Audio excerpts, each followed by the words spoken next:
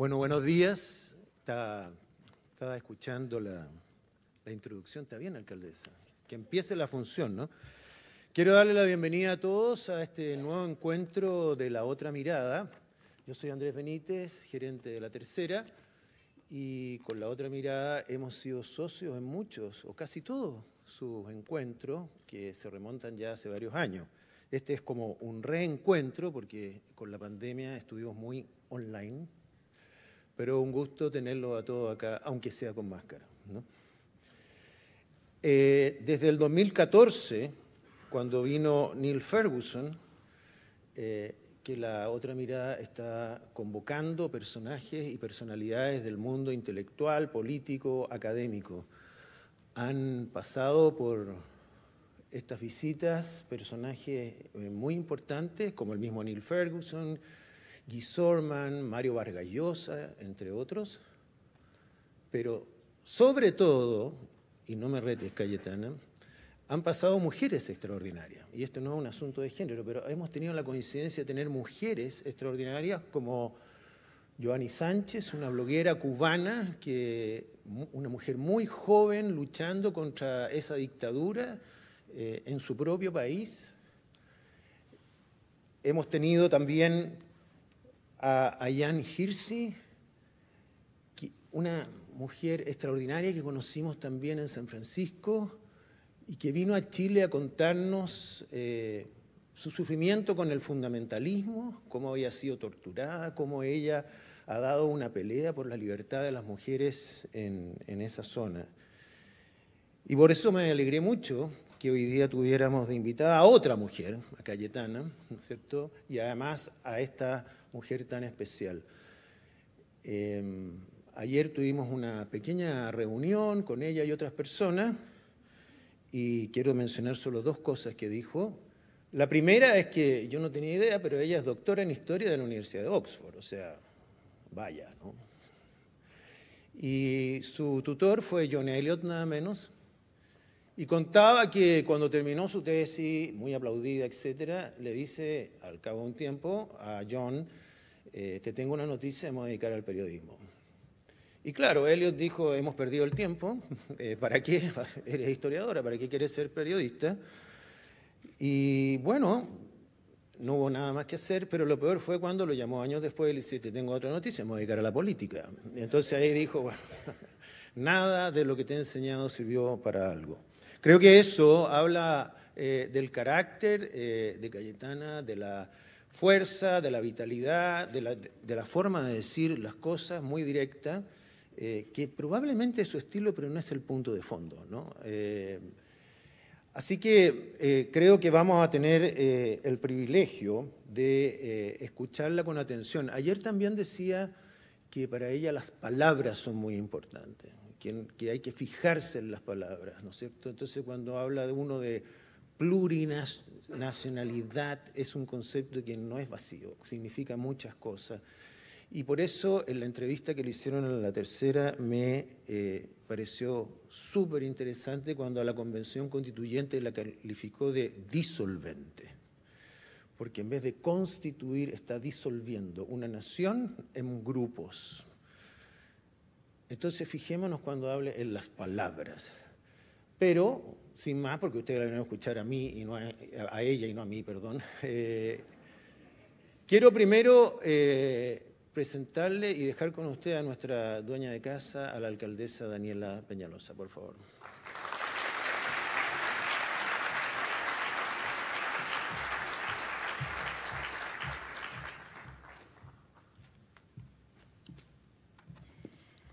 Muy buenos días, bienvenidos a todos. Qué alegría ver nuevamente este teatro lleno. Era, era hora ya de que nos pudiéramos volver a reunir con este foro completo. Quiero partir agradeciendo a la otra mirada por organizar estas actividades, a Cayetana por estar presente en nuestro país, en nuestra comuna y por las reflexiones que nos vas a entregar. He tenido la suerte de poder estar contigo el día de ayer en dos ocasiones y sin duda es un privilegio para todos nosotros poder escucharte. A todos ustedes que están presentes, jóvenes, dirigentes, empresarios, políticos, a todos nuestros vecinos, vecinas, para que nos podamos juntar en este teatro, que es un teatro de las artes escénicas, de la cultura, y nos vamos a juntar a hablar de las ideas, o de la ausencia de ellas a veces, o de esa pelea o batalla cultural que nuestro sector ha perdido. Y qué alegría que el teatro se abra a esa discusión también, porque la cultura tiene que ver con eso, con cómo también hablamos de las grandes cosas que influyen en nuestro país, de la política, de la política bien hecha y de defender nuestras ideas con valentía. Para ninguno de los que está hoy acá es una novedad que Chile está pasando por un momento que es complejo, que estamos transitando en un periodo de absoluta tal vez incertidumbre, en un gobierno que en sus primeros 60 días no nos entrega certezas de poder ser un país libre como el que queremos ser y como el que hemos luchado por ser, donde la seguridad y el Estado de Derecho no está garantizado. Entonces, ¿de qué libertad podemos estar hablando? Ya hablaba eh, Andrés de la, de la convención bueno, una convención que en vez de ser la casa de todos, es la casa de algunos por una mayoría que ha sido solamente circunstancial. Y en vez de unirnos y de constituirnos en una sola nación y en un solo país, Chile, del que tanto nos sentimos orgullosos, nos quiere plantear una mirada de muchas naciones, de muchos grupos, donde no nos vamos a encontrar los chilenos.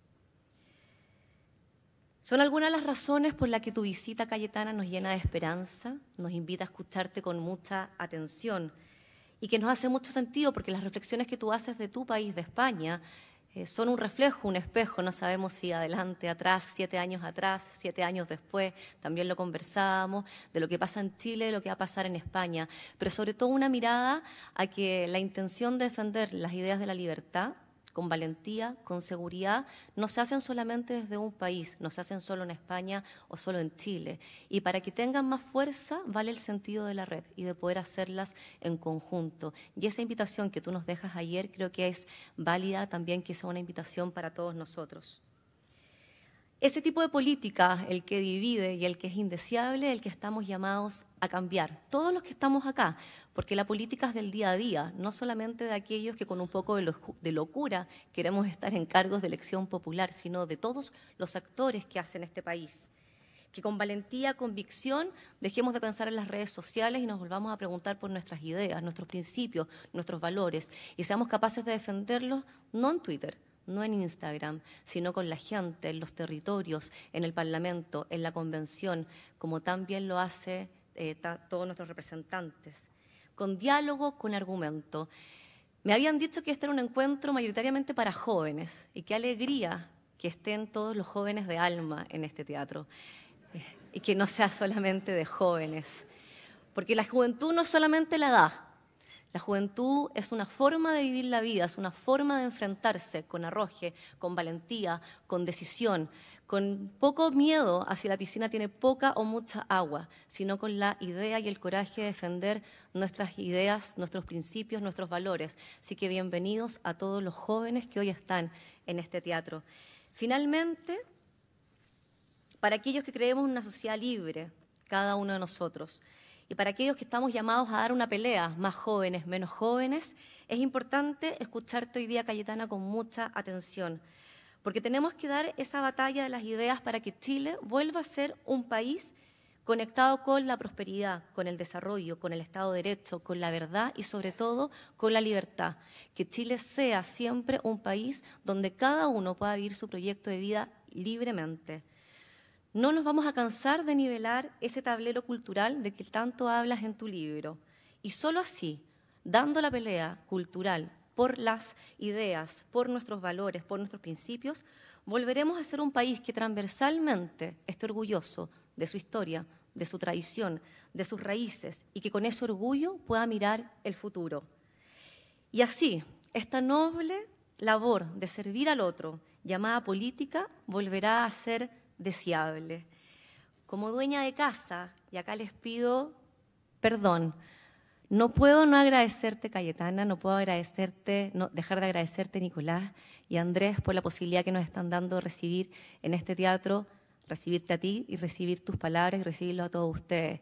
Así que permítanme y discúlpenme salirme del libreto, pero quiero entregarte, Cayetana, un regalo de mujeres de artesanas de Chile del pueblo Los Dominicos, que está acá en la comuna de Las Condes, un pueblo que es de artesanos, de tradición, de raíces, que habla de nuestro Chile, pero también que porque nos habla de ese Chile nos invita a mirar ese futuro que algunos quieren borrar.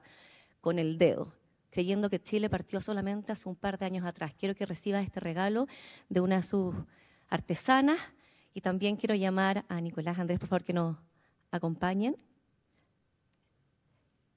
Eh, porque les quiero, eh, sí, les quiero entregar un regalo. Perdónenme la salida libre.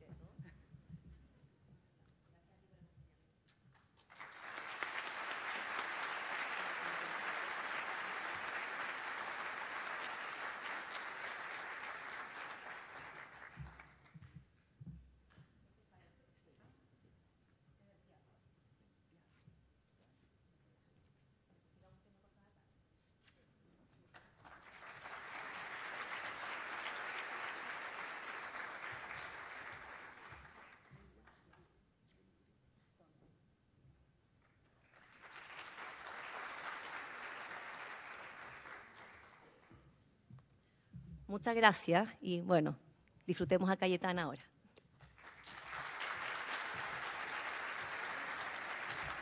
Bueno, solo muchas gracias, alcaldesa, por sus palabras, por sus regalos.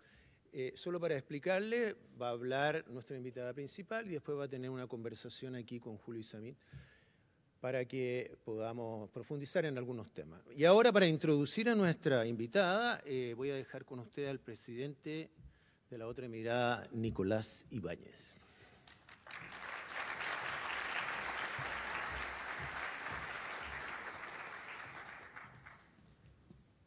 Hemos cambiado el libreto eh, levemente. Esta mañana recibí, o recibimos seguramente, eh, un mensaje que me pareció muy interesante, eh, un mensaje audiovisual, TikTok, muy interesante compartir con ustedes. No sé si lo tenemos ahí para poder proyectarlo. ¿Estamos ahí? Muy bien. La actual constitución define las reglas del juego, donde ya se sabe quién va a ganar y quién va a perder, incluso antes de nacer.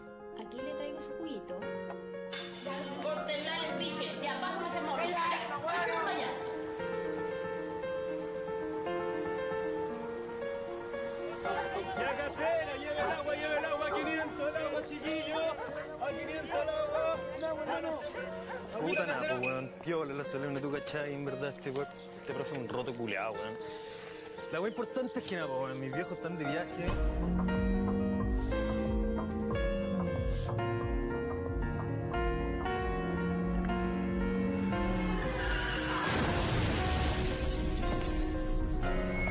Ya nos cansamos de tanta injusticia y desigualdad. Cambiemos las reglas del juego. Cambiemos la constitución de Pinochet.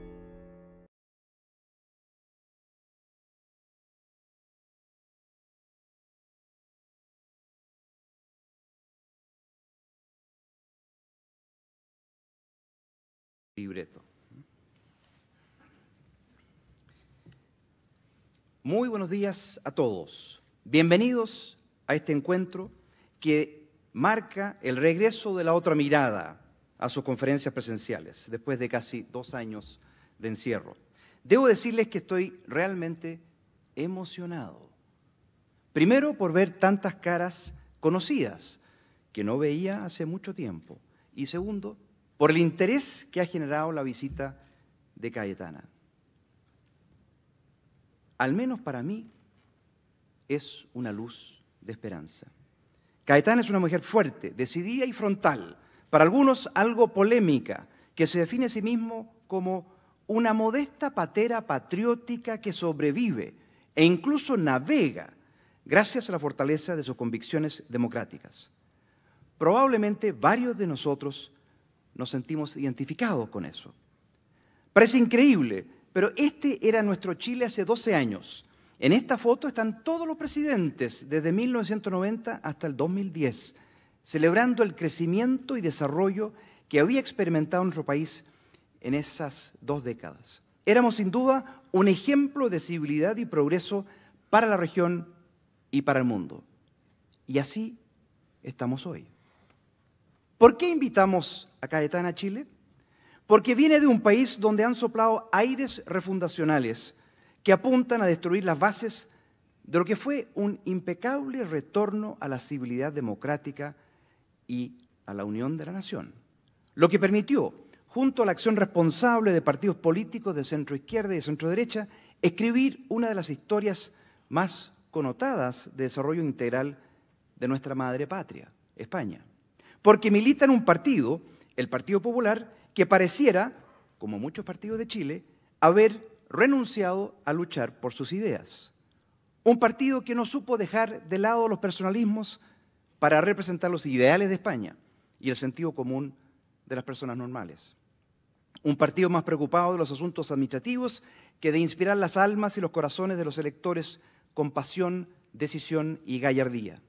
La invitamos porque está dispuesta a dar la cara por su partido y colaborar decididamente en su renovación, porque con hechos concretos nos ha demostrado cómo combatir la desazón que a veces opaca el deseo de persistir en una carrera política, porque nos parece que puede ser una inspiración para los jóvenes chilenos que hoy están desilusionados con la política. Resulta imprescindible que las nuevas generaciones vean en la política un espacio noble y fascinante para desarrollar sus proyectos de vida, aunque ello signifique hacer un borrón y cuenta nueva con la clase política existente. Esa que no supo estar a la altura de las exigencias de la batalla cultural, de la guerra existencial que enfrentamos hace ya muchos años.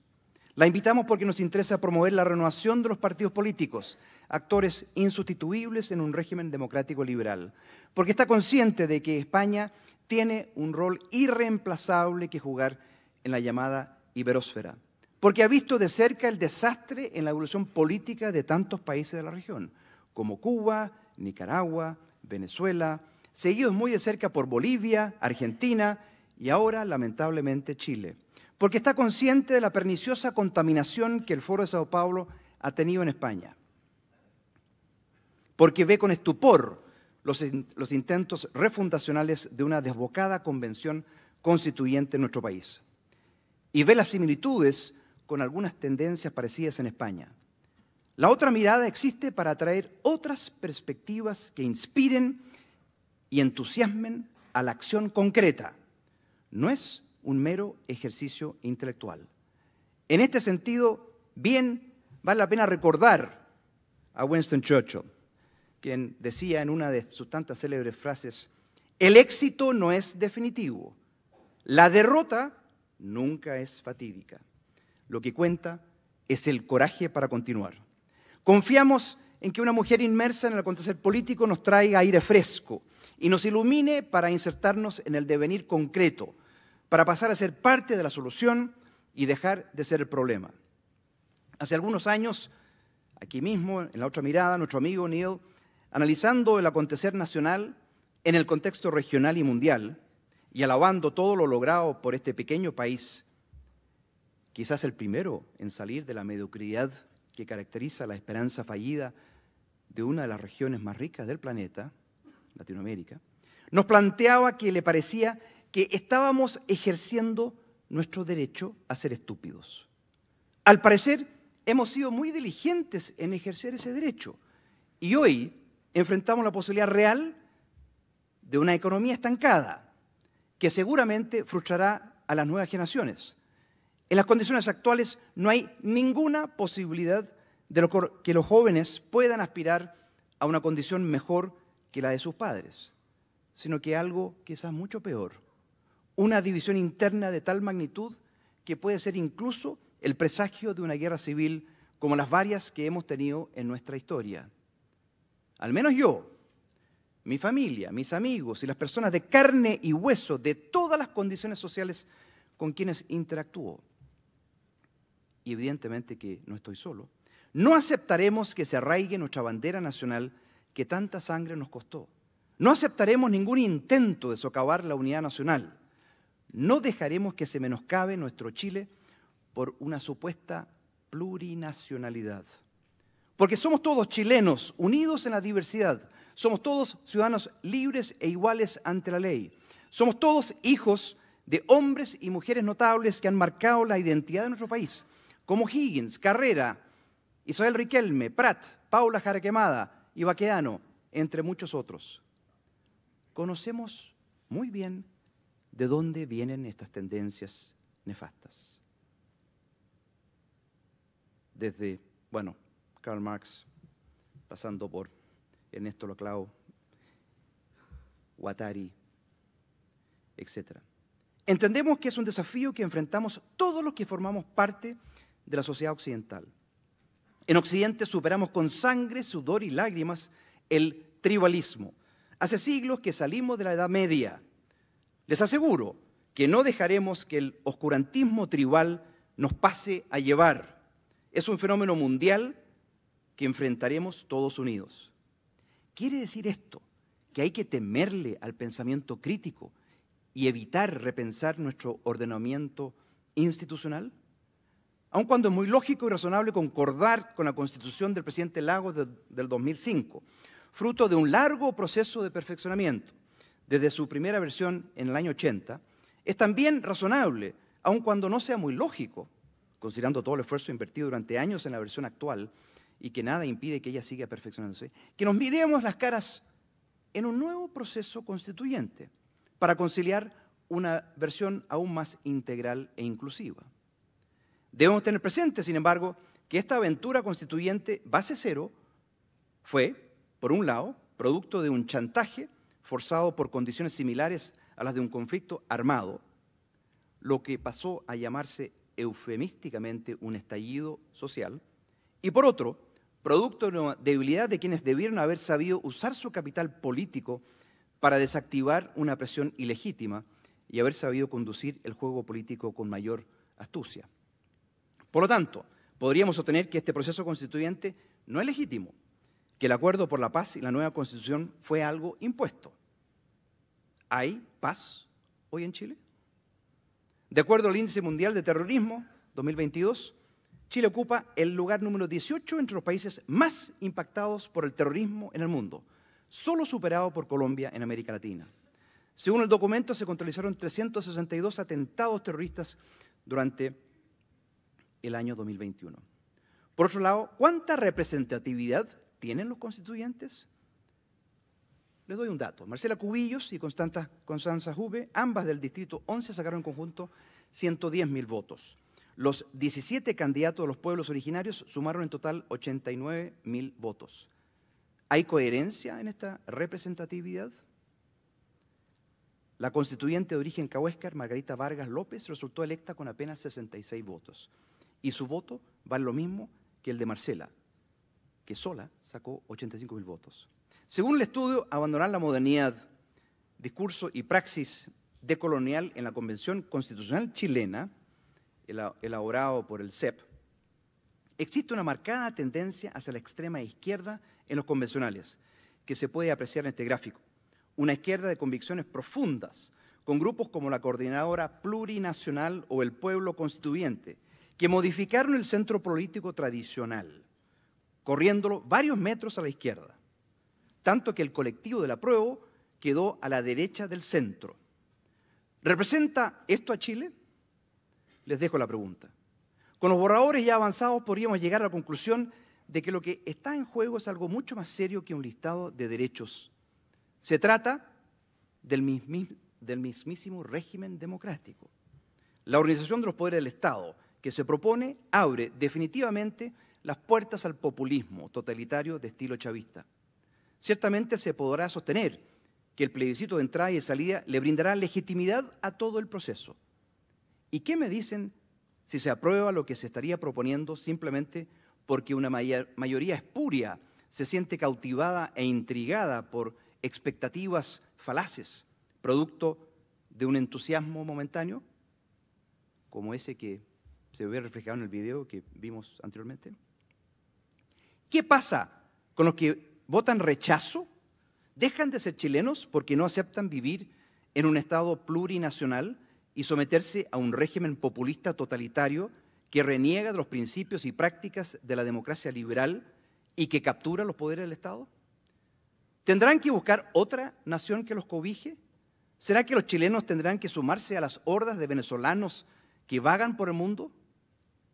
Querida Cayetana, usted ha llegado en un momento fascinante en el devenir de Chile.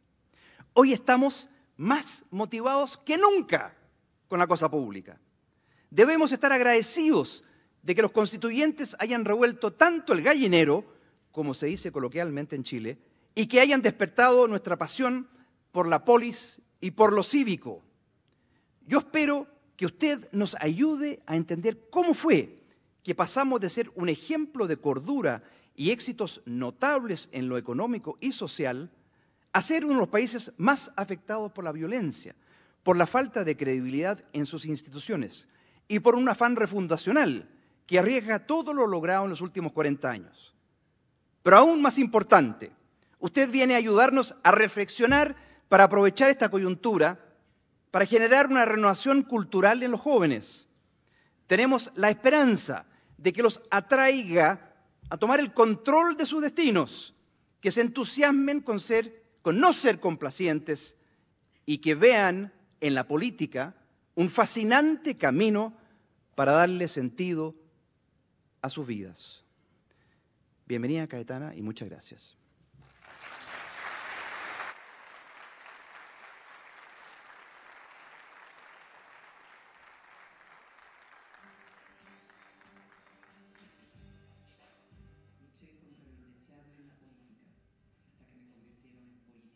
Indeseable en la política, hasta que me convirtieron en políticamente indeseable. Políticamente indeseable.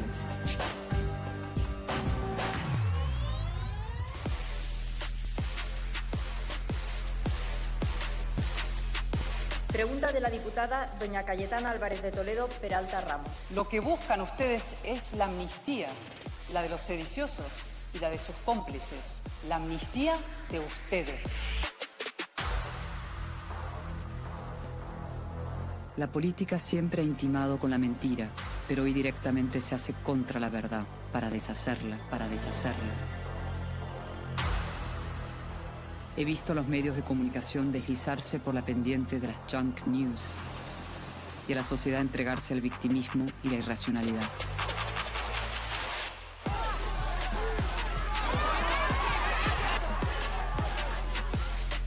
Yo creo profundamente que la política deseable es posible.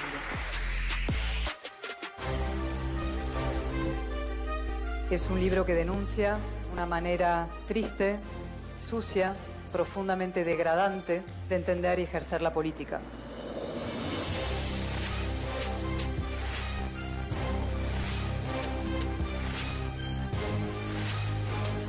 Decir que las mujeres son víctimas de una especie de terrorismo machista es tan falso y absurdo como decir que el hombre que mata a su mujer la mata por amor. No nacemos víctimas, entonces yo no quiero que me victimicen y no quiero que hablen de mi nombre. Nuestras hijas no nacen víctimas y si les estamos enseñando que son víctimas, les estamos enseñando lo peor que puede haber para salir adelante. El victimismo es uno de los graves problemas contemporáneos.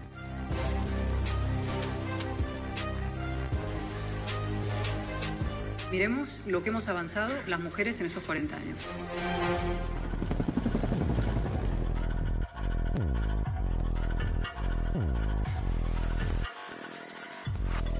Yo creo que para rescatar a la política de las mandíbulas del populismo hace falta hacer un ejercicio de transparencia. ¿no? Una política bien entendida, la política basada en la realidad, en la verdad, en la responsabilidad. Es verdad que está desprestigiada, que existe una generalizada crisis de confianza de los ciudadanos en los políticos, pero eso no resta importancia a la política como oficio. De hecho, es de las cosas que más afectan nuestras vidas.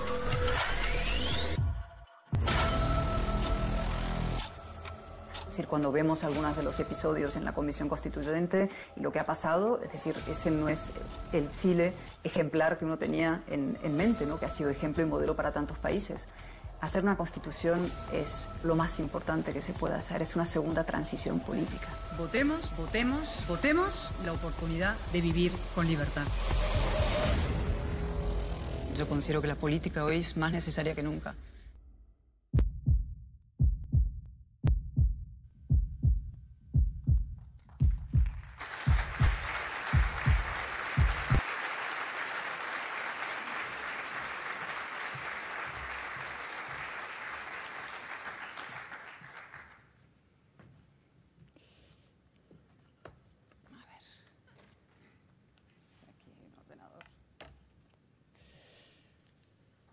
Bueno, impresionante. Muchísimas gracias.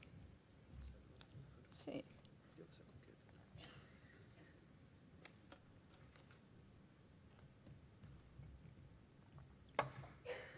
Muchísimas gracias al Instituto República y a la otra mirada. Andrés, por permitirnos llegar mucho más lejos con este acto y con estas ideas.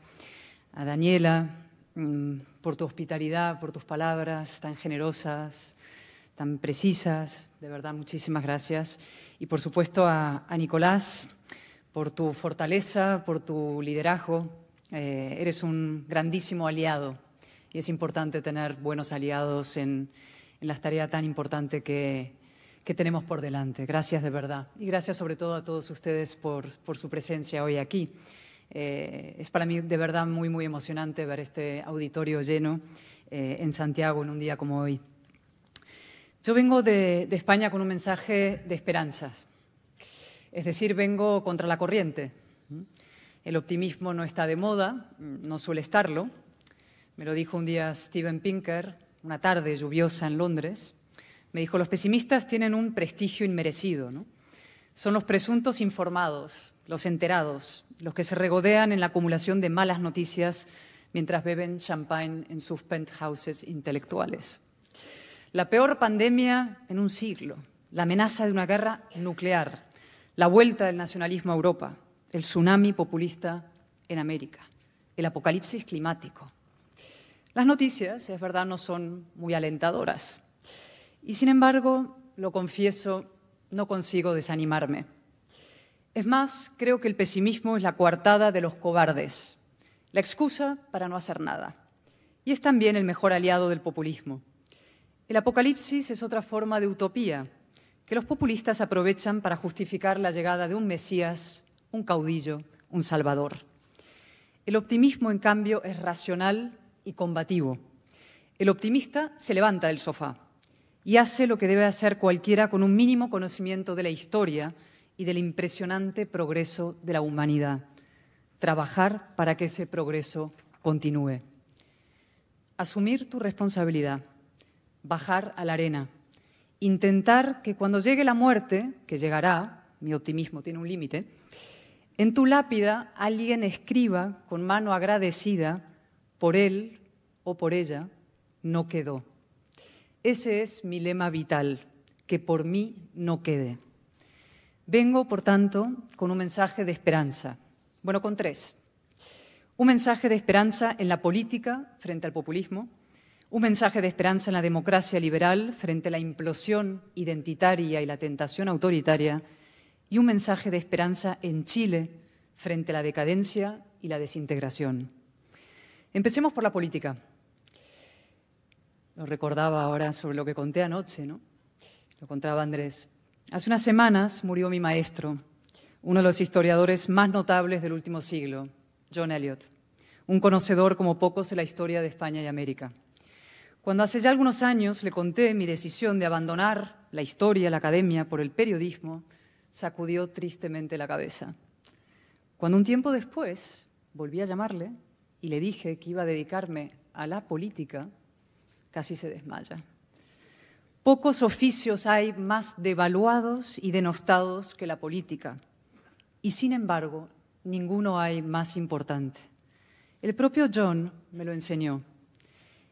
El líder político, el individuo, tiene una influencia decisiva sobre el devenir de los acontecimientos, mucho más que las corrientes subterráneas tan al gusto de la historiografía marxista. Los políticos son la verdadera élite de la sociedad. Sus acciones afectan a todos los ámbitos, desde lo más nimio, el trazado de una carretera, hasta lo más drástico, la vida y la muerte, la guerra. De ahí la importancia de que a la política se dediquen los más inteligentes, los más competentes, los más honrados, los mejores. ¿Es el caso? No, claro, en ninguna parte. La tónica es la mediocridad y a veces incluso el esperpento. Basta observar el perfil de algunos gobiernos. Pongamos el de España. Casi ningún ministro pasaría el corte para trabajar en una empresa. Lo reconoció, de hecho, hace unos años el expresidente José Luis Rodríguez Zapatero, de infausta memoria, al poco tiempo de llegar al poder. le dijo una noche a su mujer, los dos en la cama, Sonsoles, no te imaginas la cantidad de cientos de miles de españoles que podrían gobernar. Así no fue, claro. Nos hundió en la ruina económica y la mayor crisis política desde la transición. Luego se fue a Venezuela a ser de testaferro político de Maduro, pero eso ya es otra historia. ¿Y qué decir de los parlamentos o de las convenciones constitucionales? Una mezcla de patio de colegio, reality show y circo de tres pistas. La política reducida a un espectáculo frívolo y degradante. La responsabilidad de esta degradación es compartida. La tienen algunos ciudadanos, muchos, que consumen política basura, como consumen televisión basura o junk food. La tienen algunas élites económicas y mediáticas que se desentienden de la política de la democracia, como si no fuera con ellos, como si lo único relevante fuera su cuenta de resultados, como si una sociedad políticamente insalubre pudiera ser económicamente sana. Y la tienen, por supuesto, algunos políticos, que desprestigian su oficio en una competencia desquiciada y autodestructiva con el populismo. El populismo no es una forma de hacer política, es la antipolítica, su némesis y principal enemiga, porque se disfraza de política para destruirla. El asalto al Capitolio en Estados Unidos, por ejemplo, o el golpe de Estado en Cataluña en 2017, o el estallido violento que acabó liquidando la Constitución chilena. Ninguno de estos episodios son políticos en el sentido exacto y de la palabra. Son expresiones de la irracionalidad, la xenofobia, la mentira, el miedo y el rencor, es decir, de todo aquello que está carcomiendo la política desde su interior y que debería ser desterrado como la peste por la salud de la democracia. Pero hablemos ahora de los antídotos. Empiezo por la razón. Es lo que nos distingue a los humanos de los animales y a los adultos de los niños. Y es lo que permite a dos personas con opiniones muy distintas alcanzar un entendimiento. Un día le preguntaron a Torcuato Fernández Miranda, el guionista de la transición española, cómo había logrado poner de acuerdo a comunistas y franquistas, a monárquicos y republicanos, a unionistas y separatistas. Y él contestó, el corazón sujeto y en su sitio. Eso es la razón, no la negación del corazón, sino su sujeción, es decir, un acto de contención y de responsabilidad y también de inteligencia. Hacer populismo está al alcance de cualquiera. Basta plantarse en la plaza pública y con un micrófono en la mano enardecer a las masas tocar su fibra sentimental, pulsar sus pasiones más bajas, denunciar el infierno en la tierra o prometer el asalto a los cielos. Hasta yo podría hacerlo. Lo vemos en los parlamentos también, supuesto templo del diálogo y de la palabra. Diputados que lanzan mensajes ramplones, vulgares, safios, de un alto voltaje emocional, que no buscan convencer, sino calentar. Cien retweets, mil likes, soy viral. En realidad, el populismo es el atajo de los mediocres. Para movilizar e inspirar con la razón hay que valer.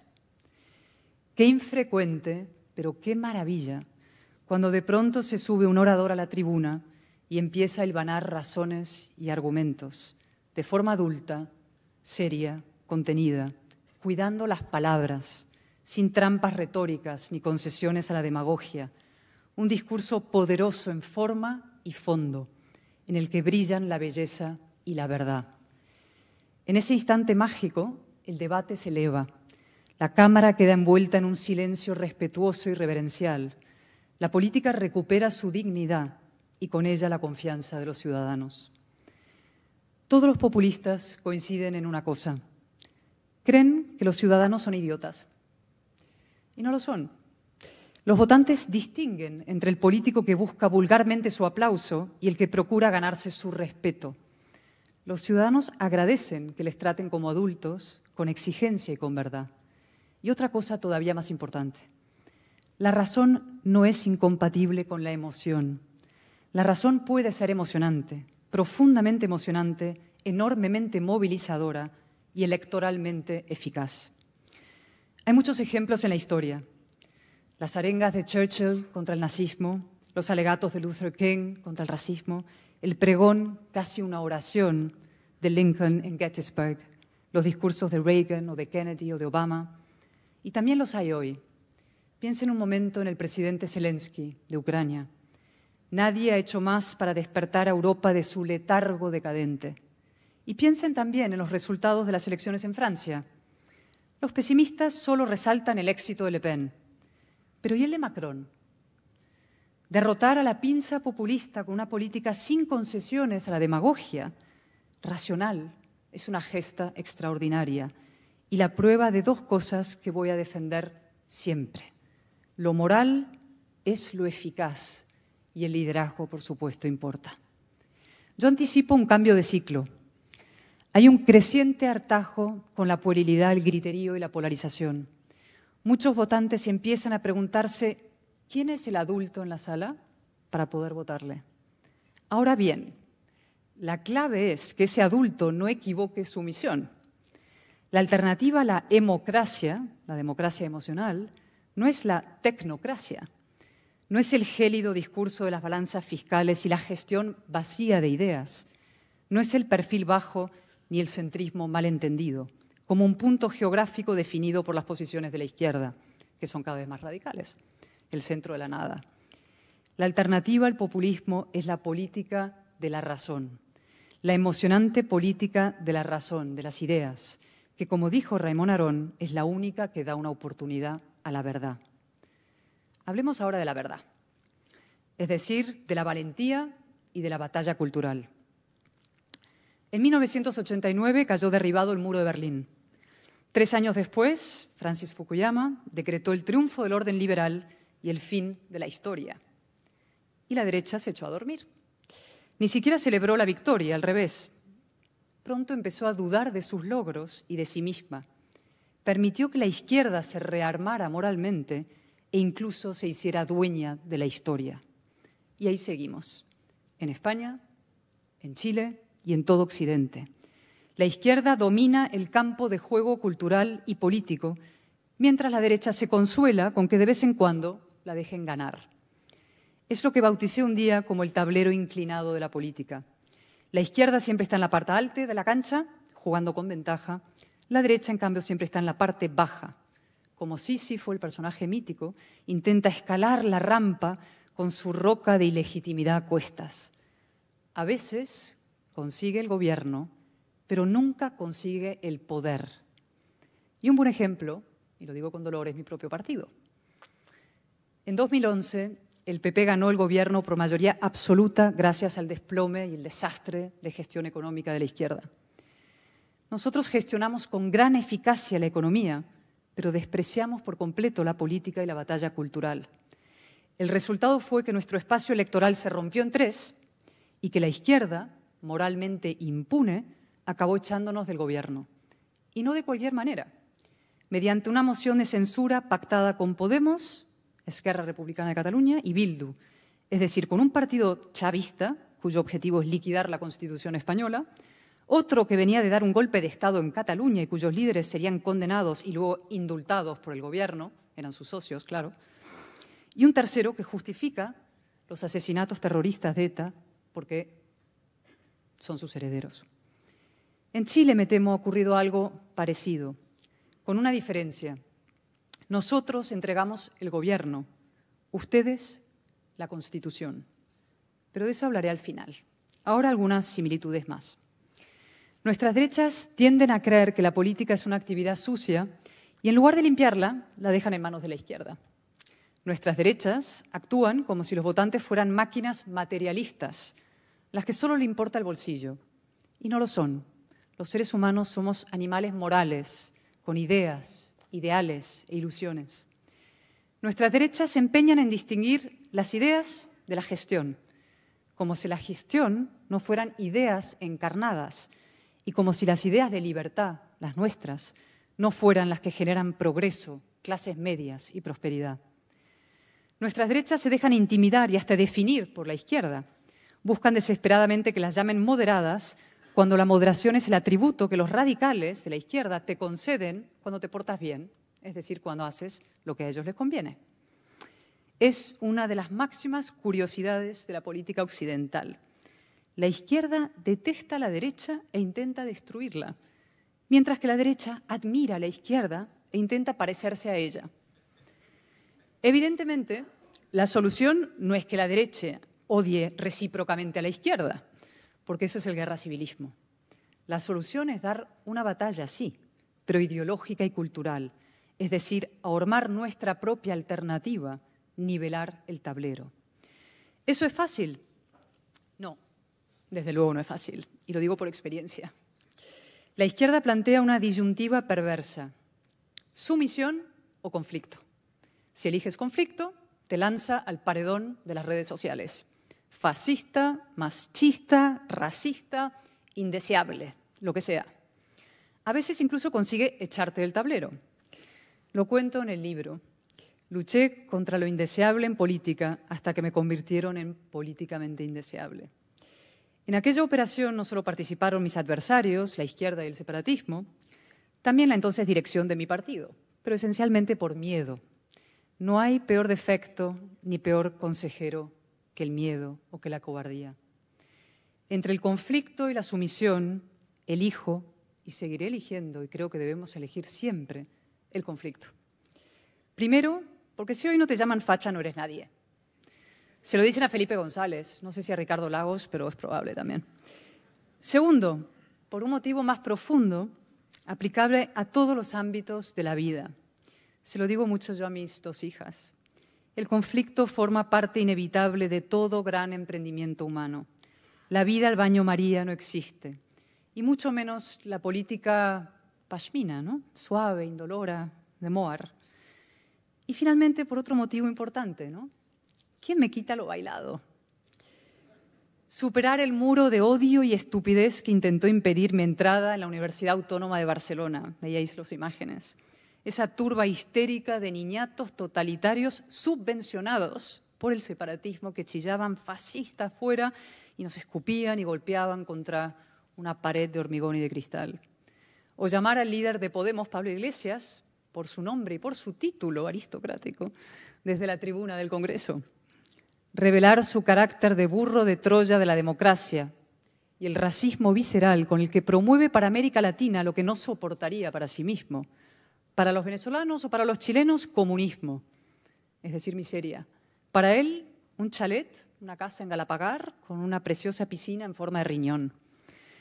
Defender la verdadera igualdad de sexos frente a una ola feminista puritana y pendenciera que nos victimiza, paraliza y enfrenta a los hombres, nuestros padres, nuestros hermanos, hijos, amantes y aliados denunciar el cinismo de las élites económicas y mediáticas que hacen negocio con la erosión de los valores de la democracia, que anteponen el share, la audiencia, a la convivencia, que sacan tajada del populismo o simplemente se colocan de perfil en una equidistancia coqueta y cómplice.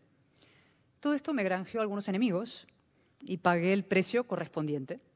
Pero así son las buenas causas, exigen sacrificios hay que nadar contra la corriente, como un salmón, río arriba, y disfrutar. Lo he comentado muchas veces con mi equipo, mi Band of Brothers. Qué suerte hemos tenido. Decir la verdad, defender a España y a la libertad en una encrucijada histórica. Qué inmenso privilegio. El mismo que ahora tienen ustedes. Vengo de España con un mensaje de esperanza en la democracia liberal frente al separatismo identitario y la tentación autoritaria. Hace poco murió Sidney Poitier, el primer actor negro en ganar un Oscar.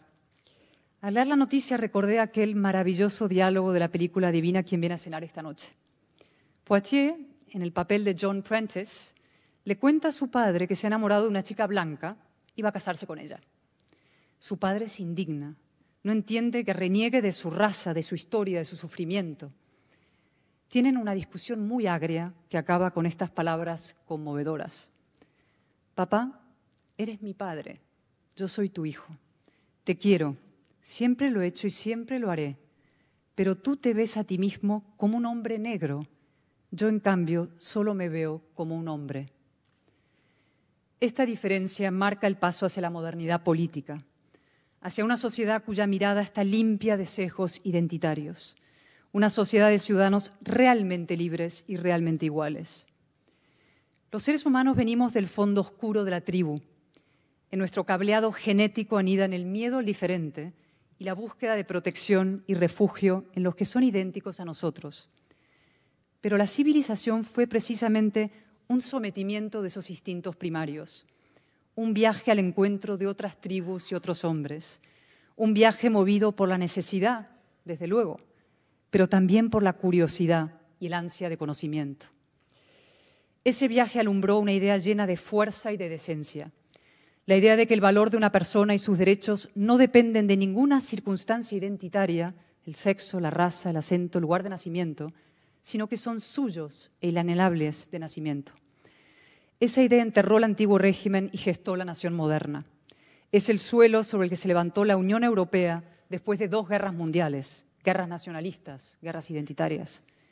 Y es el núcleo vivo de la España constitucional, esa que podemos definir como una empecinada voluntad de vivir juntos los distintos y que hace suya y perpetúa la sabia sentencia del Quijote.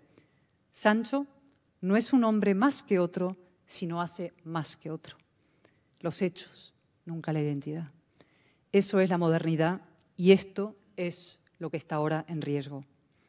Nada hay más fácil que ver lo que nos distingue y aleja a unos seres humanos de otros, a unos españoles de otros, a unos chilenos de otros. Sin embargo, nada hay más decente, ni más justo, ni más útil que buscar lo que nos une.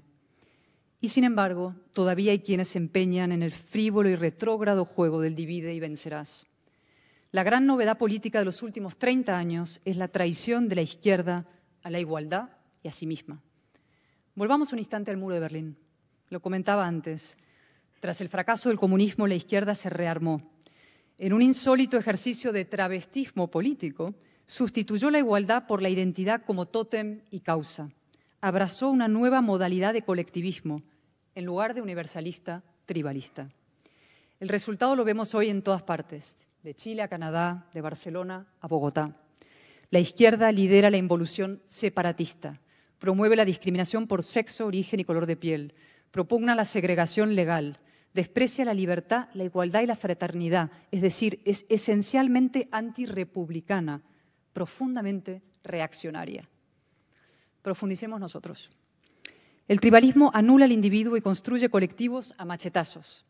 Camila Vallejo, Marine Le Pen y yo. ¿De verdad somos un mismo colectivo? El tribalismo alienta el victimismo. Nos trata a las mujeres o a los indígenas como menores de edad a perpetuidad, tarados necesitados de tutela ajena, cautivos de una cuota. En mi caso, les importa mucho más lo que tengo entre las piernas que lo que tengo en la cabeza. El tribalismo, reinstaura la discriminación y hasta la segregación legal. En España ya no hay igualdad jurídica, no sé si lo sabían ustedes. Las mujeres somos más presuntamente inocentes que los hombres, lo han metido en la ley. A mismo delito, menor castigo. Chile, ustedes van camino de algo todavía más insólito y peor. La llamada justicia plurinacional no es otra cosa que el fin de la igualdad ante la ley, que la discriminación legalizada. Y yo pregunto, si cada colectivo identitario tiene que tener su propio sistema de justicia, leyes, etcétera, ¿por qué no su propio gobierno?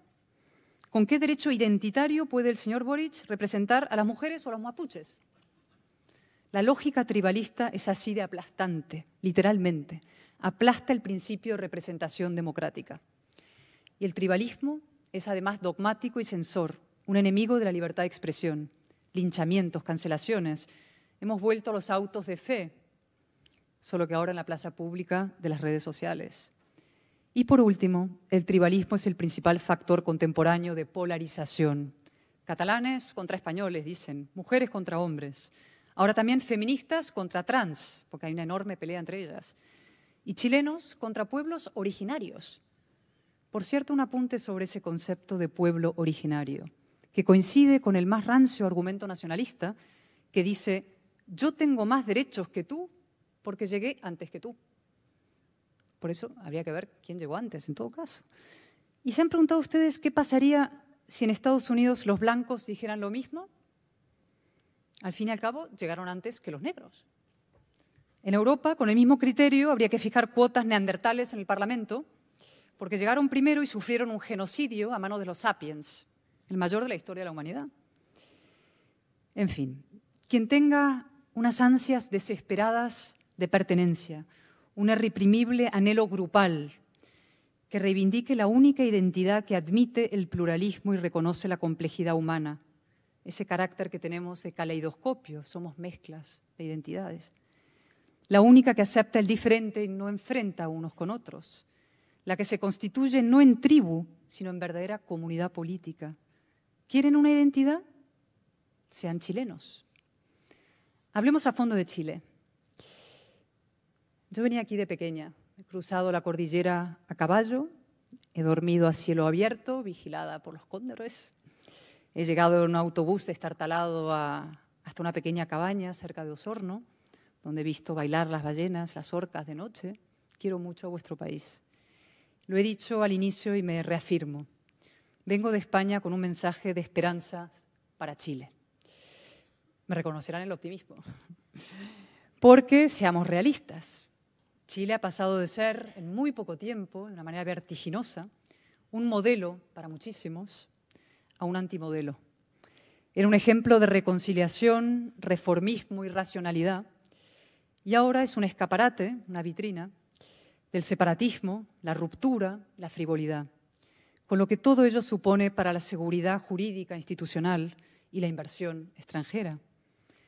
La experiencia chilena es una prueba de la fragilidad de las democracias. Retrata, mejor que ningún otro episodio contemporáneo, la traición de la izquierda al orden liberal y la incomparecencia del centro derecha en la batalla cultural. Juntos, unos y otros, tiraron por la borda la Constitución a partir de un estallido de violencia probablemente a sabiendas o de que la violencia nunca puede ser partera de la convivencia y cuando desde luego no había nada parecido a un plan alternativo. Había ganas de romper con el pasado, pero no había un plan de futuro. ¿no? Pero no voy a extenderme en los orígenes de la crisis, la autoflagelación, si acaso, en el, en el coloquio. Quiero hablar del proceso constituyente, lo más importante que tienen ustedes entre manos. La Convención apunta en la peor dirección imaginable. No ejerce como una convención constituyente, sino como una convención disolvente. El concepto de plurinacionalidad, por ejemplo, de verdad, las palabras importan, es una bomba de relojería no solo contra la igualdad de los chilenos ante la ley, sino también contra la propia integridad territorial del país. Yo pregunto seriamente, cuando oigo el concepto, ¿Cuántas naciones hay en Chile? ¿Dos? ¿Quince? ¿Tantas como pueblos originarios y no originarios? ¿Qué hacemos con los semi-originarios? ¿Quién define esas naciones? Y sobre todo, ¿qué soberanía tienen? Porque una nación es soberana. Puede constituirse, no constituirse, fragmentarse, separarse, dividirse. ¿Cuál es el límite? Alentar el separatismo es antitético a los fines de una constitución. Una constitución separatista es un oxímoron, una constitución debe constituir, no disgregar, unir, no dividir, integrar, no segregar y mucho menos desintegrar. Están ustedes protagonizando un experimento inédito en la deconstrucción identitaria de una nación, es decir, jugando con la decadencia y la implosión y además con el fracaso. Porque una constitución no puede ser nunca de parte, ni de una parte contra otra, ni mucho menos de muchas partes contra el todo porque van a llegar nuevas mayorías que la van a enmendar drásticamente, ahora su imagen y semejanza, o directamente la tirarán por la borda. Bien lo sabemos los españoles, que nos pasamos el siglo XIX haciendo y deshaciendo constituciones en movimientos pendulares hasta la guerra civil y la dictadura. En 1978 logramos por fin hacer una constitución de todos y para todos, que ahora, no es casualidad, los paralelismos entre nuestros países, los separatismos y la izquierda comunista intentan destruir con la complicidad suicida del Partido Socialista que lo torela para mantenerse en el poder. Nosotros tenemos un gobierno Frankenstein, cosido de muñones identitarios. Es un gobierno débil que ha traído a España decadencia económica y degradación institucional grave. Pero solo hay una cosa peor que un gobierno Frankenstein, una constitución Frankenstein. Mi consejo, por tanto, es que no sigan por ese camino, que no hagan una constitución de división separatista, que no alienten la segregación de los chilenos, porque tendrán lo peor de todos los mundos, lo peor de mi otro país, Argentina, que es la decadencia crónica, y lo peor de España, que es la tensión centrífuga y la inestabilidad. Y con esto, un último comentario. Es muy difícil que los tiempos pasados vuelvan. La constitución chilena, que no es la constitución de Pinochet, es de la derecha, de la izquierda, del centro, de todos, de Lagos, de Frey, de Piñera, de Bachelet, no va a volver. Es difícil que vuelva. El genio ha salido de la botella y habrá que redactar un texto nuevo. No hay tarea más grande para una generación. Son ustedes los protagonistas de la segunda transición chilena. Es una responsabilidad inmensa. El mundo les está mirando y aprenderá de ustedes, para bien o para mal, que sea para bien. Conviertan este reto en una oportunidad una oportunidad para demostrar que la política es un oficio noble y necesario, que la política deseable existe y se practica aquí por ustedes, constituyentes y diputados valientes, a los que sigo con admiración. Una oportunidad para reafirmar los valores de la Ilustración, que son los que procuran la felicidad y la prosperidad de las naciones, libertad, igualdad, fraternidad, el Estado de Derecho. No hay paz ni prosperidad fuera de la democracia. La solución al malestar no es el caos identitario, ni tampoco un orden autoritario. Es una democracia mejor. Y una oportunidad, sobre todo, para convertir a Chile de nuevo en ejemplo y modelo. Para todo eso, tómense su tiempo. Una constitución no es un hilo de Twitter ni un vídeo de TikTok. No puede someterse a los ritmos de un mundo vertiginoso ni a los caprichos de un presidente de popularidad menguante. Una constitución es lo más importante que tiene una comunidad política. Son las reglas del juego, que deben servir para todos y por mucho tiempo. Por tanto, no acepten ningún chantaje o trágala. Esto no va de elegir entre la constitución de la dictadura, falsedad histórica, y la chapuza separatista que apruebe la convención. Hagan política grande, digan la verdad, emplacen a los chilenos a asumir su responsabilidad y ofrézcanles una alternativa, una alternativa concreta, un procedimiento, un camino y también un texto. Doblen la apuesta, redacten una nueva constitución, sí, pero a la altura del ejemplo que Chile ha sido y puede volver a ser. Sean audaces, sean imaginativos, sean patriotas, sean en el sentido más razonado y emocionante de la palabra, chilenos. En esa tarea contarán siempre con una aliada española a la que no le temblará el pulso ni la sonrisa cuando los populistas y los pesimistas la llamen políticamente indeseable. Muchas gracias.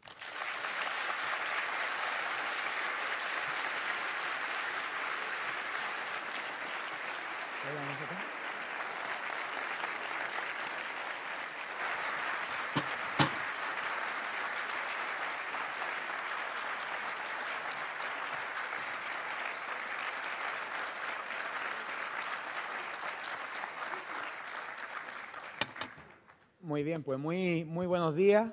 Muchas gracias a todos por estar acá hoy día con nosotros. Gracias, Cayetana, por tu exposición. Yo diría que exposición, charla, clase magistral, arenga, discurso, quizás todas las anteriores. Y yo creo que eso es lo que hace extraordinaria la presencia de Cayetano hoy día. Cómo podemos escuchar un discurso político como el que hoy día hemos podido oír, la verdad es que nos llena de ilusión de que una política diferente se puede hacer. Eh, hay una cantidad de puntos de coincidencia entre Chile y, España muy notable, históricos, culturales, sociales. Acá también a todos nos llaman facho. Si te dicen facho pobre, mucho mejor. Ese es el mayor de los piropos, Cayetana. Y la verdad es que en Chile la centro derecha, Cayetana ha tenido el gobierno dos veces en las últimas décadas. Tuvimos una mayoría electoral, pero no tuvimos una mayoría social, política, cultural, con lo que tú puedes tener la moneda, pero no tener el poder. Eso puede ser por varias razones. Puede ser por un problema de capacidad intelectual, de coraje político, de priorización de la economía y la gestión por sobre otras cosas como la cultura o la idea, o quizás todas las anteriores también. Y frente a eso, una pregunta a propósito del plan inclinado que tú hablas, ¿cómo podemos desarrollar desde las ideas de una sociedad libre y justa una mayoría social o cultural y también cómo hacerlo no solo en la oposición, sino también en el gobierno. Tú en el libro dices que te revelas a la idea de que no podemos tener esta labor en la oposición.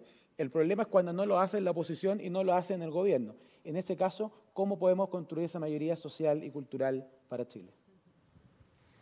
Muchísimas gracias, Julio. Me hace mucha ilusión conversar contigo y, tener este coloquio, ¿no? Desde experiencias muy similares y, siempre lo digo, lo importante es que, trabajemos juntos porque todos los países occidentales están sufriendo ahora eh, procesos similares. El separatismo es un mal extendido, ¿no? Eh, y el populismo, desde luego. Pero no hay dos países más similares que Chile y España en la génesis de esta etapa política, el desarrollo y los problemas que tenemos eh, y, por tanto, los desafíos que, afrontamos. Eh, eso que tú explicas, pues, como yo he contado en mi, intervención, pasó la misma manera en España. Alcanzamos el gobierno en dos ocasiones, eh, pero no hicimos el trabajo cultural desde el gobierno. Y evidentemente es mucho más difícil hacerlo desde la oposición.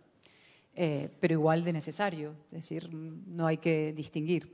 Muchas veces a la derecha le pasa en la oposición que se sienta a esperar el cadáver de su enemigo desfilar, es decir, juega un poco al cuanto peor mejor. Eh, espera que venga una enorme devastación económica y se lleve por delante a la izquierda cuando gobierna para heredar el poder y pues a partir de ahí es una manera, eh, digamos, un, atajo hacia el, hacia el gobierno. Pero eso lo que hace es que efectivamente puedas llegar al poder pero como no has hecho el trabajo previo, cultural, intelectual, ideológico y político, pues estás en una posición de gran fragilidad que hemos descrito los dos como llegar al gobierno pero no tener el poder real. Cuando además eso no lo haces desde el propio poder, es que tiene casi delito. ¿no? Cuando tienes un gran mandato eh, de las urnas, cuando los electores te han votado, en este caso pasó en España, con una gran mayoría absoluta para hacer cambios verdaderos y profundos dentro del orden cultural, y no lo haces, pues al final no te diré que tienes merecido lo que te pasa, pero casi. Entonces hay que aprender de nuestros, de nuestros errores, no hay que pasarse el día azotándose y autoflagelándose, no se trata de, en fin, de estar todo el día llorando sobre la leche derramada, como se dice, se trata simplemente de ver lo que va mal y hacerlo bien. ¿Y qué tenemos que hacer? Pues eso que he intentado describir, ¿no? Em, cuando estás en oposición, dar todas las batallas culturales e ideológicas, la batalla de las palabras, que es una que a mí me obsesiona. ¿no? Eh, la izquierda controla y domina el lenguaje y muchas veces aceptamos ese marco de juego, ese terreno conceptual, y entonces ya estamos perdidos de antemano. Lo he dicho ahora con lo de pueblos originarios o la plurinacionalidad, y hay tantos otros. Diálogo, por ejemplo. La palabra diálogo, la palabra paz, son palabras maravillosas, bonitas, entre las que nadie en fin, enfrentarse a esas palabras es muy difícil, ¿no? Pero casi siempre hay que desmontarlas, ¿no? Hay que levantar lo que está detrás y, demostrarle a la gente lo que hay detrás de esos conceptos cuando están utilizados eh, torticeramente. ¿no? Muchas veces la palabra diálogo, por ejemplo, se utiliza para sesiones, claudicaciones democráticas, o la palabra paz, ¿no? para impunidad. Es decir, hay que desmontar el lenguaje casi como un artificiero ¿eh? de la izquierda y, dar la batalla de las palabras y a partir de ahí, por supuesto, la de las ideas en todos los, en todos los frentes. Mira, la verdad es que cuando a uno le toca ser gobierno o administrar, es un partido que uno no juega solo, ¿cierto? En la política no hay un equipo y al otro lado tiene a un rival, efectivamente hay un plano muy inclinado. Primero hay que tomar una decisión de dar esa batalla, de dar esa labor cultural eh, conversando con el expresidente del Partido Popular, Pablo Casado, en La Moneda a finales del año pasado, hablamos de la importancia de los conceptos y de las ideas. Y muchas veces en Chile claudicamos en palabras que son complejas. A algunos no les gusta promover la subsidiariedad porque es difícil decirla. En cambio, ellos eh, son capaces de convencernos de la sororidad, que yo cuento que es mucho más difícil pronunciarla. Pero ¿Por qué lo comento? Porque hay que estar decidido a dar una batalla cultural. Y en ese tablero no estamos solos, hay un equipo y tenemos un rival. Yo también te quiero preguntar por tu visión de la izquierda. Eh, en Chile hemos tenido un gobierno con, fortalezas, con debilidades, pero también una oposición que, que en opinión de muchos fue muy mezquina, muy egoísta. ¿Cómo se puede distinguir esa izquierda democrática que entiende que al frente hay un adversario, pero no un enemigo, un adversario a quien tú le ganas, un enemigo tú lo destruyes? Y en otro sentido, tú tienes una izquierda más violenta, que buscó cualquier excusa para justificar la violencia, el populismo y que termina siendo antidemocrática. ¿Cuál es el rol que tú le asignas a la izquierda democrática y cómo enfrentar a esta izquierda eh, violenta, populista y antidemocrática en el fondo? Son muchas cosas. Primero, un, apunte, efectivamente, la premisa para ganar una batalla es darla. si no la das es muy difícil, ¿no? Y, es verdad que en la derecha, lo he explicado ahora, eh, tendemos a creer que las ideas no importan, que lo que importa es la gestión, que a la gente lo único le importa el bolsillo, que no le importa la política ni las grandes causas. Es decir, partimos de una premisa incorrecta, que es que no hay que dar la batalla cultural. Incluso llegamos a pensar, no es mi caso, pero mucha gente llega a pensar que la batalla es inconveniente porque moviliza al de enfrente. Mm típico. Entonces, los asesores y gurús de la derecha siempre dicen tranquilo, perfil bajo, que vas a movilizar al de enfrente. El de enfrente se moviliza solo. El de enfrente tiene una capacidad de movilización extraordinaria. Eh, el nacionalismo en Cataluña, por ejemplo. Eh, el apaciguamiento fue lo que generó la fuerza que tuvo el movimiento separatista. No fue la política de fortaleza democrática y constitucionalista lo que permitió que llegaran tan lejos los nacionalistas o que llegara tan lejos Podemos. Es decir, el apaciguamiento les envalentona, la firmeza te garantiza un conflicto, pero un conflicto con una posibilidad de ganar. Y esa es la clave, ¿no? Tener la determinación de dar esa batalla, lo primero, y asumir los costes. Y, en fin, aparcar un poco a esos asesores y sociólogos que van con las encuestas, porque muchos de ellos acaban causando estragos en los líderes políticos. Em, eso por un lado. El tema de la izquierda es muy complejo, ¿no? Mm, ha pasado lo mismo en España. ¿Qué le pasó a la izquierda? El Partido Socialista era el otro pilar del sistema constitucional en España, como el socialismo probablemente aquí, pero un momento dado se queda sin relato y sin ideas. Y entonces, eh, en lugar de utilizar la cabeza para pensar cuál es el relato del socialismo en el siglo XXI de verdad, lo que hace es eh, apropiarse, digamos, mm, adoptar todas las ideas de las izquierdas más radicales o incluso aliarse con las izquierdas más radicales para llegar al poder. Si renuncia a un discurso común para todos los ciudadanos, un discurso eh, de comunidad política y de ciudadanía, y decide eh, ahormar mayorías a partir de pedacitos y de trozos. Dentro de esos trozos hay separatistas de distinto tipo, indigenismo, feminismo, ecologismo, lo que fuera, y por supuesto las izquierdas más radicales. Entonces, mm, la derecha tendemos una, tendencia a, a entregarle al socialismo razonable y a buscar socialistas razonables todo el día. ¿no? Pasa en el, el PSOE verdadero, ¿cuáles son los diputados socialistas que de verdad son razonables? Estamos como buscando socialistas buenos, ¿no? socialistas de la vieja guardia, los jóvenes, y no aparecen por ningún lado. De vez en cuando hay algún líder territorial que le da lo que llamamos un pellizco de monja ¿no? a, Sánchez, ¿eh? pero se queda tan ancho, los medios de derechas le aplauden, esto sí es un socialista bueno de la transición, pero ya está, no pasa nada. Lo que va avanzando, lo que va ganando, lo que se va imponiendo es la lógica más radical dentro de la izquierda. Eh, entonces, eh, en eso, pocas concesiones. Eh, el hecho de que el socialismo sea el problema no significa que el socialismo sea la solución.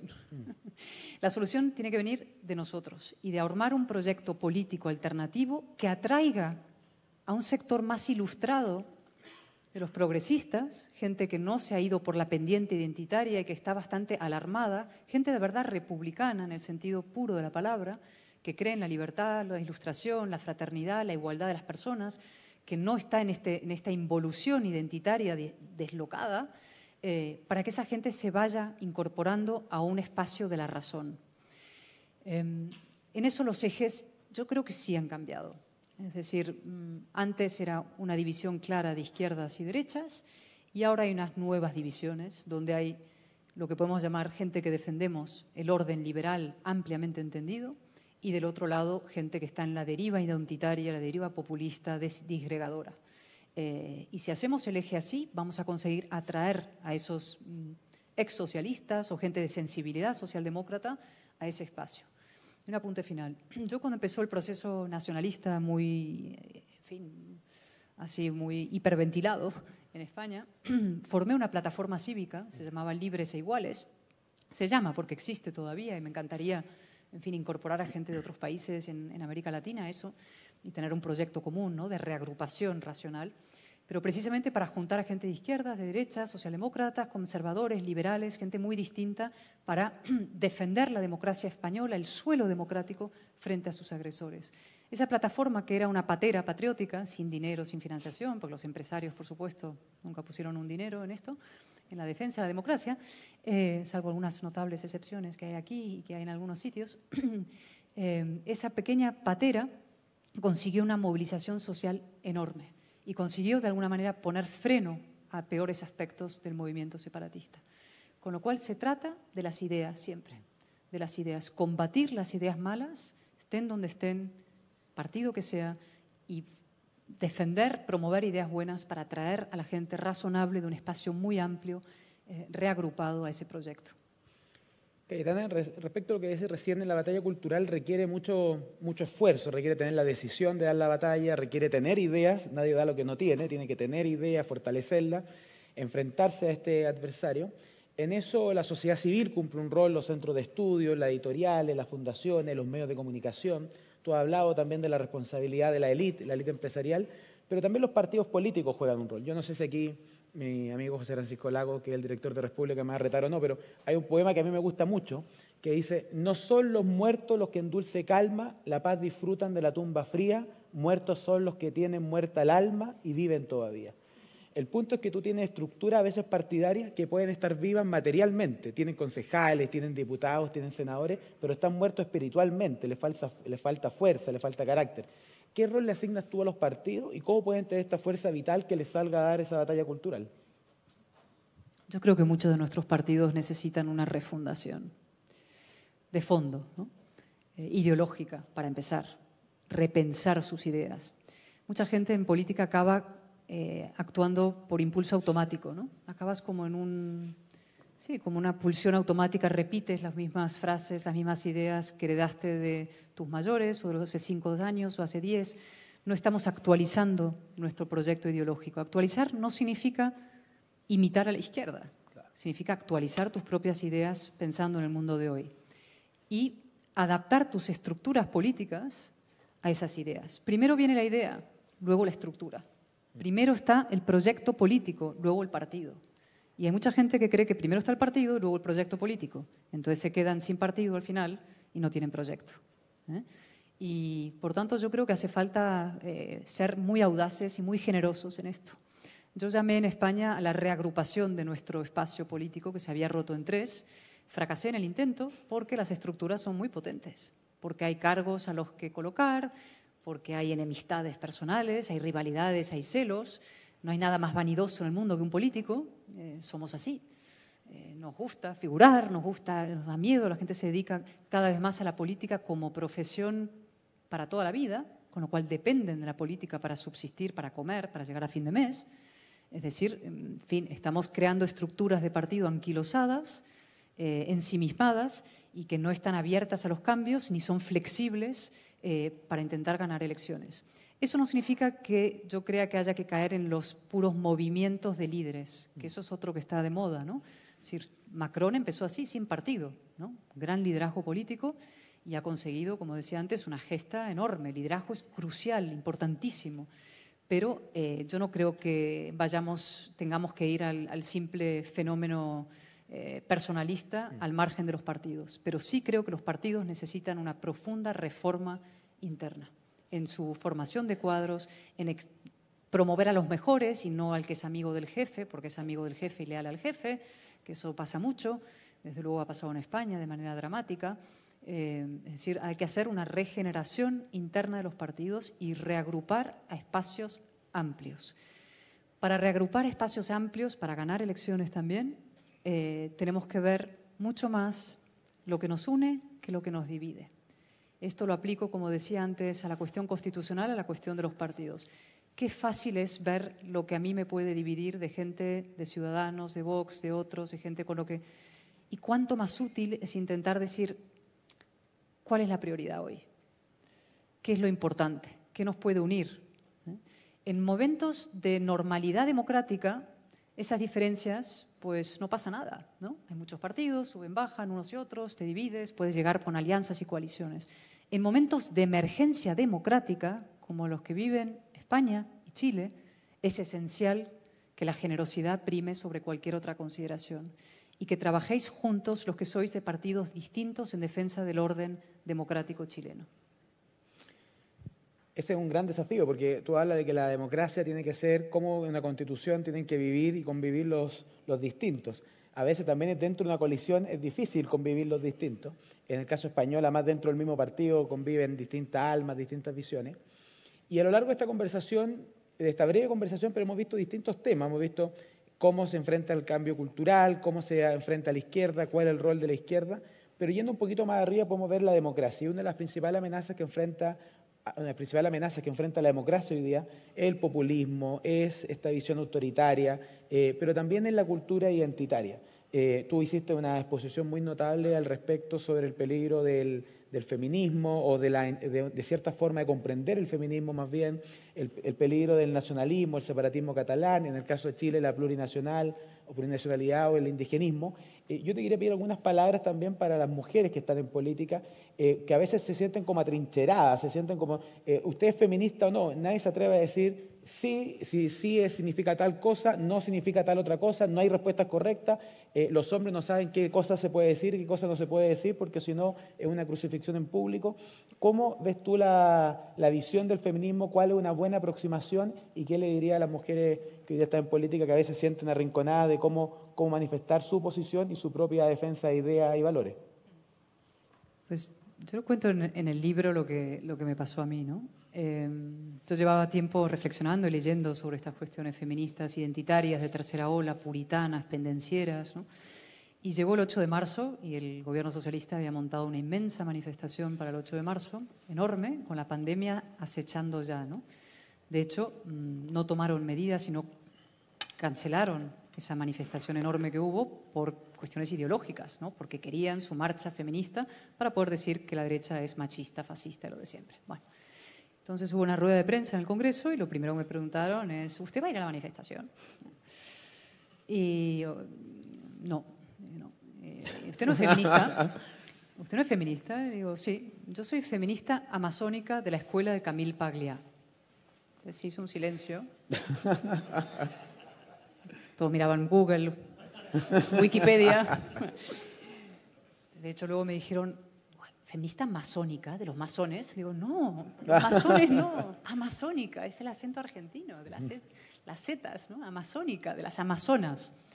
Es el feminismo que cree que no nacemos víctimas las mujeres y que quiere mujeres fuertes y mujeres libres, que no estén eh, tuteladas por eh, hombres, pero tampoco por mujeres. Porque estas nuevas feministas se arrogan el derecho a hablar en mi nombre? Yo siempre he dicho, yo no voy a aceptar que un hombre hable en mi nombre pero tampoco, y por el mismo motivo, voy a aceptar que hable en mi nombre una mujer y me colectivice y me meta en un grupo eh, granítico, cerrado, cautiva de una cuota con eso, Marine Le Pen, Camila Vallejo, Cristina Kirchner. Es decir, todas somos iguales, un colectivo, sentimos lo mismo, pensamos igual, eso nos define, formamos parte de un grupo, tenemos que sentir igual, opinar igual, votar igual. Evidentemente no, no, somos un colectivo, las mujeres, cada uno pensamos, libremente lo que queremos y tenemos otra cosa muy importante junto con esa libertad, que es responsabilidad. Es verdad que tenemos problemas mm, propios, por ejemplo la maternidad, pero eso para empezar no es un castigo, es una bendición y es una responsabilidad. Es decir, con la libertad, que significa poder tener hijos nosotros, los tenemos nosotros en la panza, con lo cual es distinto a los hombres, lo siento, eso no lo podéis hacer, pues como tenemos esa responsabilidad añadida, eh, tenemos un coste, porque toda libertad tiene un coste. Nada es gratis. Y tener esa experiencia extraordinaria de tener bebés, de tener niños, tiene un coste, sí. Hay unos años difíciles y hay decisiones que tenemos que tomar las mujeres que los hombres no tienen que tomar. ¿No? Si trabajamos a tiempo parcial o no, eh, si en fin, dejamos a los bebés en guardería, si dejamos el trabajo durante tres horas, durante tres años o no. Es decir, estas decisiones son nuestras. Y la sociedad está ahí para ayudar, las sociedades contemporáneas, modernas, los estados del bienestar, hay ayudas sociales, hay de todo, ¿no? Pero eso no nos convierte en unas víctimas que necesitamos tutela y que estamos condenadas, y desde luego no convierte a la población masculina que está aquí dentro en agresores, violadores y asesinos de mujeres por definición y por nacimiento. esta visión binaria belicosa, beligerante de las mujeres como víctimas de hombres agresores es profundamente perversa. Va contra la biología, va contra la realidad y al final no resuelve tampoco los problemas. Este discurso feminista radical en España no ha resuelto los problemas de asesinatos que hay de mujeres. Porque eso, cuando diagnosticas mal el problema, no tienes bien la solución. Con lo cual, eh, fortaleza, coraje, feminismo amazónico, desacomplejado y eh, amable y con colaboración con los hombres. Los hombres han hecho muchas cosas por nosotras también. ¿eh? Han trabajado en carreteras, en las minas, en alta mar. Nos han sacado de la cueva, como diría Camil Paglea, ¿no? salían ahí a cazar. parecen estupideces, pero es que no lo son. Los, hombres no son los enemigos ni los que los han mantenido reprimidas y sometidas eh, o siguen haciéndolo por, perverso eh, placer. Y otra cosa más, de lo que he hablado mucho en España, ¿no? Eh, esta idea de que la violencia, digamos, contra mujeres es una cosa política, ¿no? de que hay un colectivo machista que mata a las mujeres por el hecho de ser mujeres. Se dice mucho, se, se repite, ¿no? La violencia contra mujer por el hecho de ser mujer. Eso es falso. Existen grupos que matan, mataban a judíos por el hecho de ser judíos. Existen grupos, había en España, que mataban a españoles, ETA, por el hecho de ser españoles te mataban. No hay grupos de hombres colectivos machistas que maten a mujeres por el hecho de ser mujeres. Hay violencias contra las mujeres en parejas, etcétera, pero no hay colectivo de machistas que odien a mujeres y quieran matar a mujeres. No es una violencia política, porque lo entendamos de una manera nítida y clara. Y la izquierda quiere politizar esa violencia, ¿para qué? Para decir la derecha es culpable de la violencia contra las mujeres y las mujeres son de izquierdas y por tanto nos van a votar a nosotros. Esa es la operación perversa que está detrás y que tiene que ser desmontada. ¿Es fácil? No, no es fácil. Pero bueno, ¿quién, quién dijo que esto tuviera que ser fácil? Es más interesante así.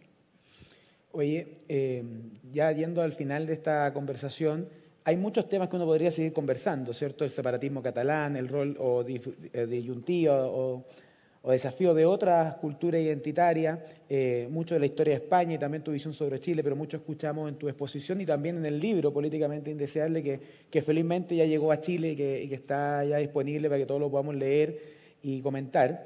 Eh, sí te quería hacer una última pregunta, Cayetana, respecto a, por un lado, ¿cuál es tu propia proyección política? O sea, ¿cuál, dónde, ¿qué es lo que viene para Cayetana? Pero también, respecto a todos los que estamos al otro lado, eh, ¿cuál es tu llamado a, la acción, a, esa, a, ser una, a ser adultos en política, a no caer en el tweet eh, fácil, a no caer en el emoticón, a no caer eh, en que la política solamente es TikTok o es Twitter, eh, sino que también es contacto con las personas, difusión de ideas, es promoción de nuevos líderes, es difusión de ideas en, en distintos lugares. ¿Cuál es el llamado a la acción también para que seamos verdaderamente ciudadanos, no consumidores meramente, y políticos adultos o adultos en política?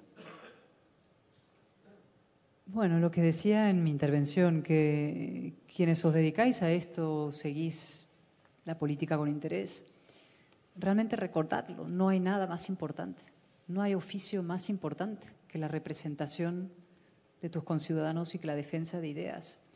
Y por tanto ese noble oficio ha de ejercerse con nobleza y con madurez y con seriedad y con respeto, ¿no? Eh, con belleza y con verdad, como he dicho, cuidando las palabras, respetando a tu auditorio, tratando a los ciudadanos como adultos y por tanto siéndolo. ¿no? La política nos ha pasado que tanto tratar a la gente como si fueran idiotas, hemos acabado haciendo el idiota nosotros. Y esas imágenes, ¿no? Payasadas. O sea, ¿qué gracia tiene eso? Eso es una falta de respeto, no al propio que se pone el disfraz de, ganso. Eh, es que es a los ciudadanos, es a los chilenos. Es una falta de respeto a los chilenos. Por tanto, cada vez que te subas a una tribuna, cada vez que tomes la palabra, cada vez que tomes una decisión, hay que hacerlo con un respeto reverencial a los demás y un hondo sentido de la dignidad propia con el máximo orgullo por este oficio eh, que, es difícil, que está denostado, pero que eh, es necesario, imprescindible. Eh, siempre va a haber política. No podemos vivir sin política. Es como el oxígeno que respiramos. Siempre va a haber relaciones entre unos y otros, organización de comunidades. Y por tanto ha de ser mucho mejor la política de lo que es contemporáneamente. y es una tarea apasionante. Todos los que estáis en ello ahora eh, y más en un momento tan crítico, una encrucijada tan importante como la actual, qué oportunidad extraordinaria para ennoblecer y dignificar vuestro oficio.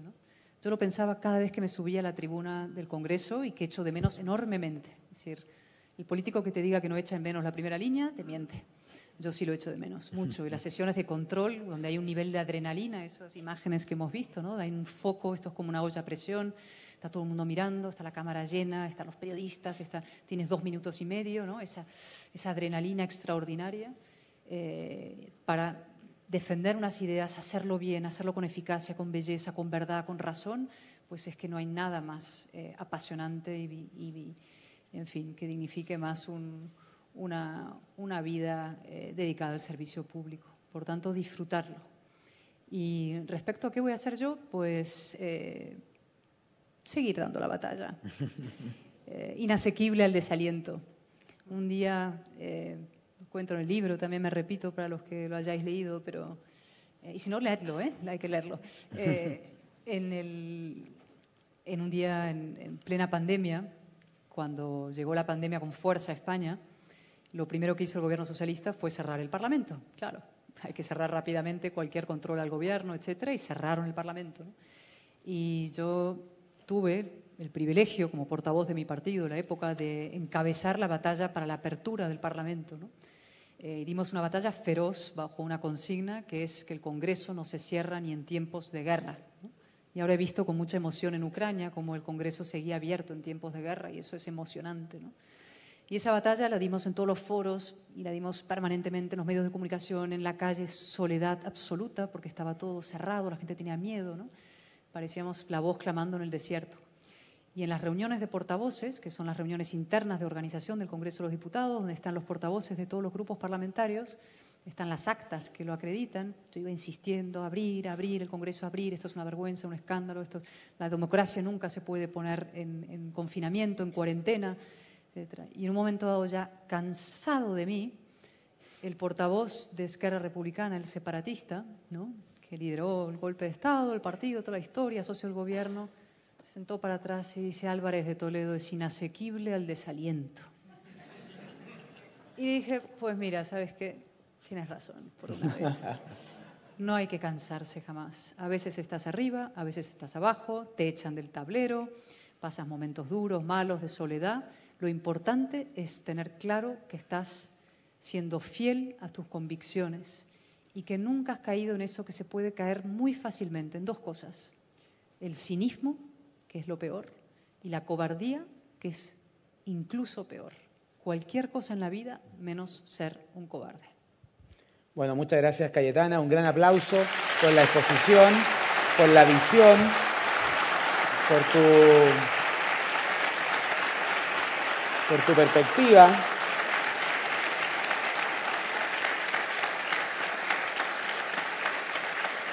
Por tu perspectiva, por tu carácter, por tu ánimo. Y es precisamente eso lo que queríamos conseguir con esta actividad de la otra mirada. Una reflexión intelectual del momento que estamos viviendo, pero también un llamado a la acción para enfrentarlo con claridad, con valentía, con generosidad. Y el Instituto República un honor habernos sumado a esto. Yo solo un par de avisos finales. Eh, afuera no solamente se está vendiendo el libro Políticamente Indeseable, sino también está este artículo que escribió Alejandro San Francisco a propósito del libro Políticamente Indeseable. Y creo que el título representa lo que hoy día hemos escuchado. Cayetana Álvarez de Toledo, política e intelectualmente necesaria. Muchas gracias, Cayetana, por habernos acompañado.